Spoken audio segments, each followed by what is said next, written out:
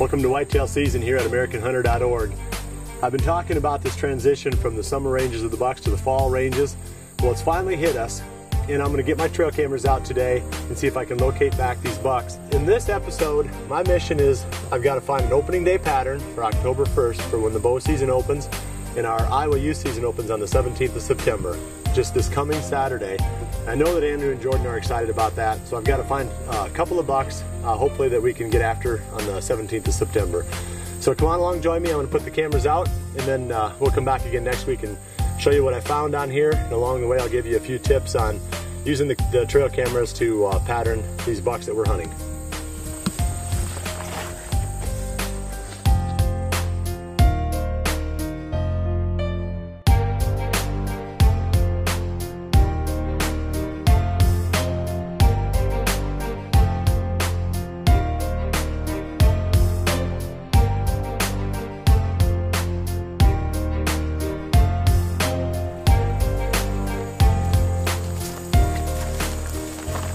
Mentioned the youth season earlier, and we love the youth season here in Iowa. It's the first open season, usually opens around the middle of September. A lot of times the bucks are still pretty close to their summer patterns, and that's what we're trying to find out with these trail cameras, try to get a, a beat on what some of these bucks are doing right now so we can set up on them this coming weekend.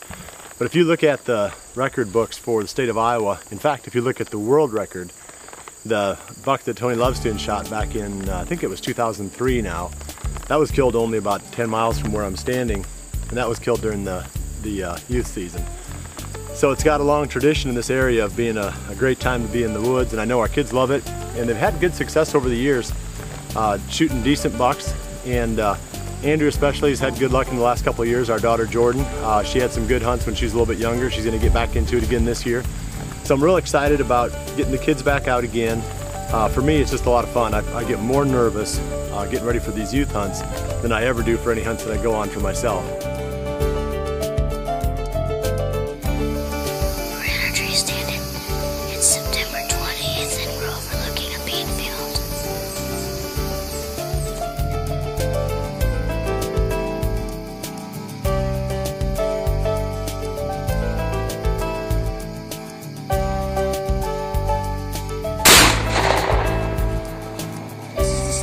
I've shot on this thing. I shot one last year. He's pretty big. We don't pound these kids with these 50 caliber muzzle loaders. We load them down. We put a 51 single 50 grain pellet of powder and a 250 grain sabot. And uh, we use the Nikon scopes with the long extended eye relief. That way we don't run any risk that the scope's gonna come back and knock one of the kids in the forehead and, and uh, make them recoil shy after that. So uh, like I said, I'm excited about it. I'm probably, every year, I'm more excited about this youth season than I am for any of the, any of the hunts that I do myself.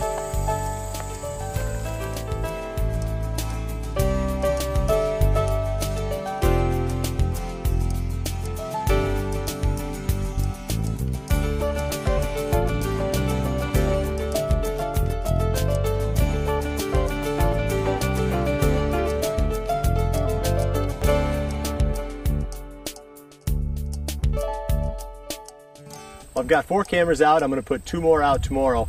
That will cover all the spots that I want to check going into the youth season and help me get started on patterning the bucks leading into the opening day of the bow season, October 1. So my strategy here is a little bit different at this time of the season than what it would be actually during the bow season itself. Uh, going into the season like this, I want to get an inventory as quick as I can. I want to find out where those bucks are at. We talked about the fact that they're changing their ranges from their summer to their fall, and having the corn, having the bait in front of the camera really helps me to get that fast inventory. So I can move into an area, figure out what's there quick, and then move out. And I don't have to spend a whole lot of time in any one spot with my cameras trying to find back some of these bucks that we were watching during the summer, and some of the deer that we watched last year that we haven't seen yet.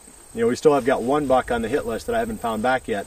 I've got a camera in the perfect spot to try to catch him too. So uh, that's that's the plan. You know, the corn serves that purpose. It helps to concentrate the deer right in front of the camera. Like I said, bring them in, uh, get a quick inventory, and then move on. And during the season, uh, more likely I'll have the cameras on trails and scrapes and locations like that where you can get actual patterns of the deer. You know, you can find out actually where the deer are moving. That will tell us pretty much by the end of the third week of September, we'll know where these bucks are at, if we've got a pattern for something going into the opening day of the bow season. So uh, anyway, I appreciate you joining us this week on whitetail season here at AmericanHunter.org. When we come back again next week, I'm going to have one or two things for you, or both, hopefully. A whole bunch of pictures of big deer off my trail cameras, and maybe some hunting action from the youth season. So we'll catch you back here again next week.